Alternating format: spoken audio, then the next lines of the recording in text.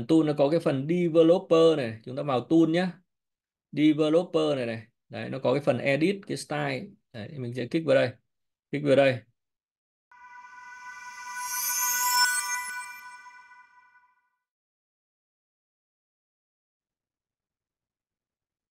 Rồi ok có một bạn có bạn tên là Nguyễn Thị Lộc có hỏi là chuyển Zero Zotero sang một máy tính khác thì online chỉ có thể được 300 mê vậy có cách nào không?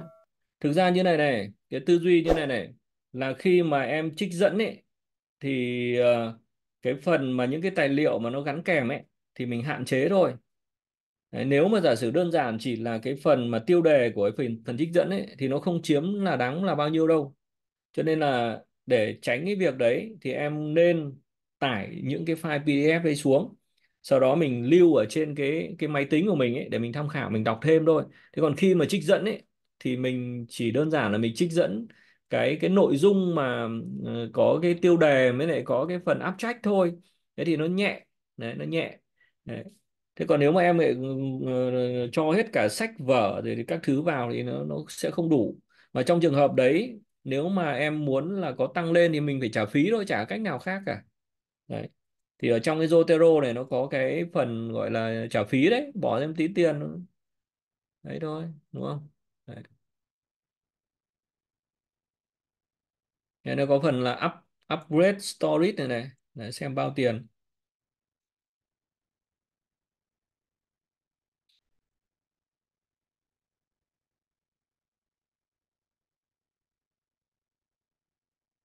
Đây này. 20 đô. Đấy, nếu lên 2 g nếu 2 g là 20 đô một năm. Nếu mà 6 g là 60 đô một năm. Thế còn nếu mà gọi là không hạn chế thì là 120 đô một năm.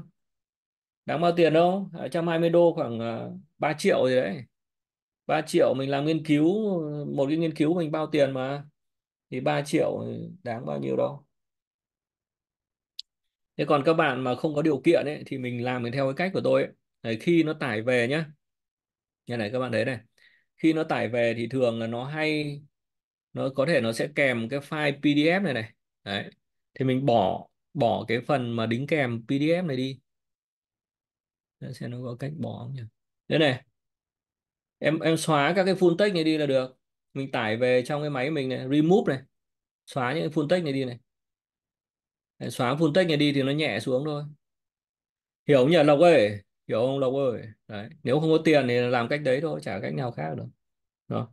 Đấy, vừa muốn là vừa muốn là không có tiền này vừa muốn dục dịch dịch vụ tốt thì không có chuyện đấy đâu nhé chào thầy ạ hiện nay em đang học bên trường thì bắt trích dẫn tài liệu tham khảo tiếng Việt và tiếng Anh. Nhưng khi em trích dẫn thì không được đối với Zotero nó không làm được đâu nhá nhắc lại với các bạn là đối với Zotero thì nó không làm được đâu. Nên là các bạn muốn làm điều này thì các bạn sẽ phải làm ở trên EndNote thôi. Thì EndNote thì tôi đã có cái video hướng dẫn là tách tiếng Anh tiếng Việt ấy thì chịu khó học EndNote.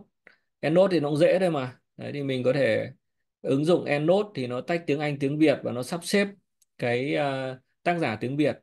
Thế còn đối với lại Zotero thì nó sẽ phải theo nó nó cứng theo cái style đấy. Cái style đấy như nào thì chúng ta làm đúng như vậy thôi hôm cái buổi trước ấy, thì có một số bạn hỏi tôi là là cái ờ, Zotero này thì chúng ta có thể hiệu chỉnh được trích dẫn không? Thì tôi nói là có thể làm được, nhưng mà các bạn phải là cái người mà biết viết code. Nếu mà các bạn không biết viết code, thì các bạn động vào, thậm chí nó còn hỏng luôn đấy đấy. Thì nếu mà các bạn mà mày mò nhá, thích mày mò thì chúng ta vào cái phần tool này này. Phần tool này nhá. Đấy, phần tool nó có cái phần developer này, chúng ta vào tool nhá. Developer này này đấy nó có cái phần edit cái style. Đấy, mình sẽ kích vào đây. Kích vào đây. Đấy nó có cái chữ style editor này. Đấy. Mình vào tool nhá vào developer nhá vào style editor nhá. Đấy. Đây là cái các cái bước này.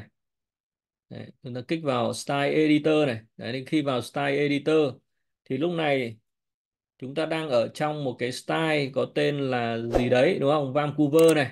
Đấy thì cái code nó loằng ngoằng trong này này đấy. thì các bạn sẽ sửa ở trong này đấy, nhưng mà nó loằng ngoằng lắm không sửa được đâu